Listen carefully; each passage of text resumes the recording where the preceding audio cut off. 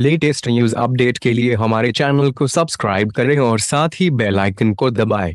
राष्ट्रीय राजधानी में कोरोना वायरस की पुष्टि की गई, मामलों की बढ़ती संख्या के बीच दस हज़ार बेड वाला सरदार पटेल कोविड देखभाल केंद्र जो अब तैयार है दिल्ली वासियों को भारी राहत देगा यह कथित और पर दुनिया के सबसे बड़े कोविड उन्नीस देखभाल राष्ट्रीय राजधानी में कोरोना वायरस की पुष्टि की गई। मामलों की बढ़ती संख्या के बीच दस हज़ार बेड वाला सरदार पटेल कोविड देखभाल केंद्र, जो अब तैयार है दिल्ली वासियों को भारी राहत देगा। यह कथित और पर दुनिया के सबसे बड़े कोविड 19 देखभाल केंद्र में से एक है। राज्य सरकार द्वारा हल्के और स्पर्शोन्मुख रोगियों के इलाज के लिए केंद्र की स्थापना की जा रही है।